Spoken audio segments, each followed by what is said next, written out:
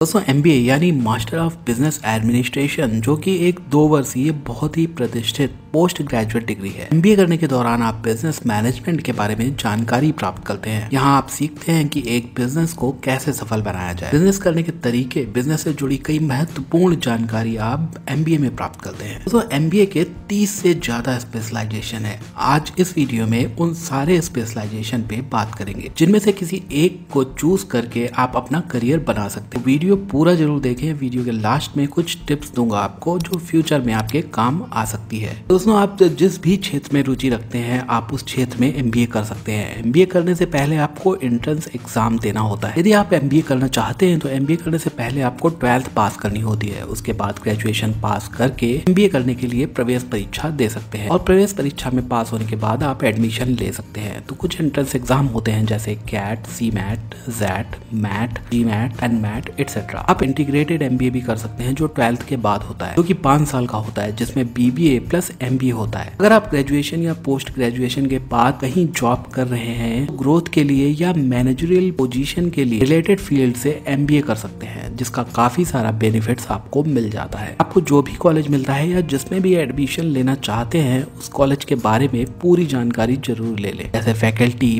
Placement college का infrastructure etcetera college check करने के लिए आप फेसबुक और लिंकडिन की हेल्प ले सकते हैं। वहाँ पढ़े हुए स्टूडेंट से कॉलेज का रिव्यू ले सकते हैं आप। यहाँ पे मैं आपको एमबीए की चालीस स्पेशलाइजेशन इसमें आ जाता है human resource H R management finance management infrastructure and real estate management आप कर सकते हैं M B oil and gas management में, कर सकते हैं एम बी मैनेजमेंट में एम बी ए कर सकते हैं एनर्जी मैनेजमेंट में टेलीकॉम मैनेजमेंट में रिटेल मैनेजमेंट में टेक्सटाइल मैनेजमेंट में port management tourism management I T management shipping port management operation management risk management rural manage brand management environment management biotechnology management logistic management production management product management, strategic management, supply chain management, marketing management, industrial management, hotel management, hospital management, fashion management, healthcare management, port management, event management, dairy management, disaster management, project management, sales and marketing management.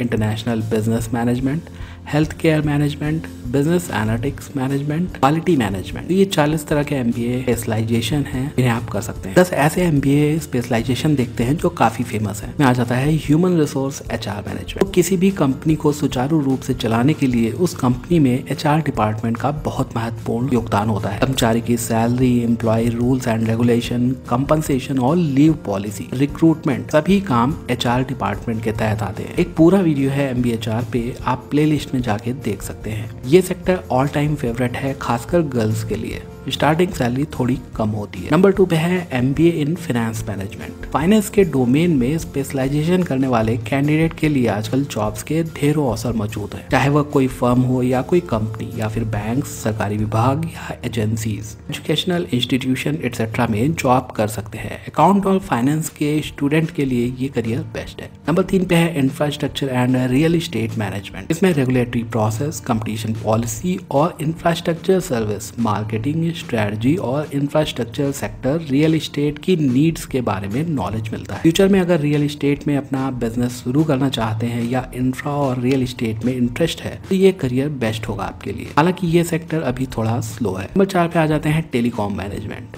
एक time था जब telecom sector boom पर था। जियो आया और telecom sector में बहुत बड़ा बदलाव आया। तो फ्यूचर में और ज़्यादा ग्रोथ दे सकता है। Telecom manager course generally technology और टेलीकम्युनिकेशन बिज़नेस फंडामेंटल्स पे फोकस होता है। ये भी सेक्टर अभी थोड़ा सा स्लो है। नंबर पाँच पे आ जाते हैं MBA in retail management retail एक बहुत बड़ा सेक्टर है जिसमें logistic marketing administration finance sales market business diversification advertising market research और मार्केट सेगमेंटेशन आते हैं। एमबीए रिटेल मैनेजमेंट से आप रिटेल इंडस्ट्री के एक्सपर्ट बन सकते हैं। रिटेल मैनेजमेंट 2020 और आने वाले सालों में पॉपुलर कोर्स बना हुआ है।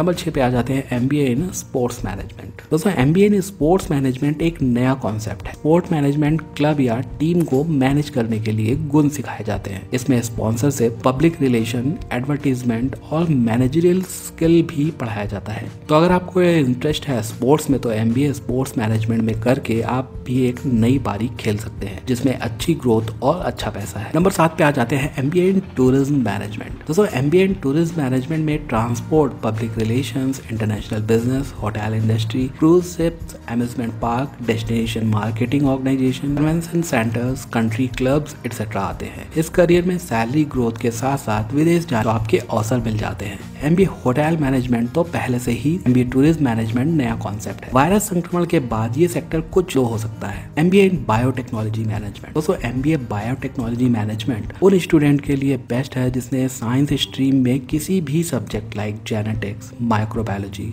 biochemistry environmental science botany zoology etcetera में बीएससी किया है। M B A biotechnology professionals pharmaceutical companies agriculture chemical और एलाइड इंडस्ट्रीज़ में अच्छी जॉब पा सकते हैं। नंबर नाइन पे आ जाते हैं M B oil and gas management इसमें आपको इन डेप्थ नॉलेज और प्रैक्टिकल ट्रेनिंग मिलती है इंटरनेशनल स्केल पर ऑयल और गैस में ट्रेडिंग की। इसमें सिखाया जाता है कि कैसे आपको चैलेंजेस फेस करने होंगे डिसीज़न लेने होंगे एनर्जी इंडस्ट्री में काम करते हुए। Oil and gas management best career option है ग्रोथ और सैलरी के लिए।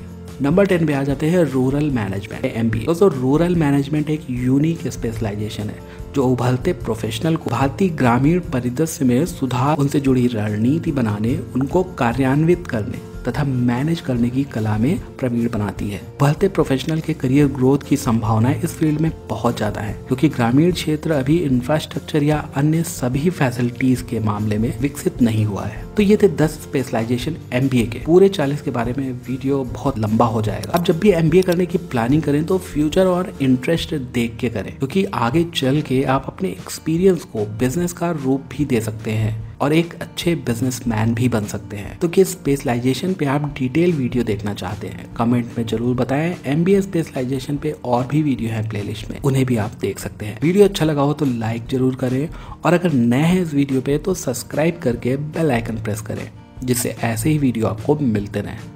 मिलते हैं नए वीडियो में। Thank you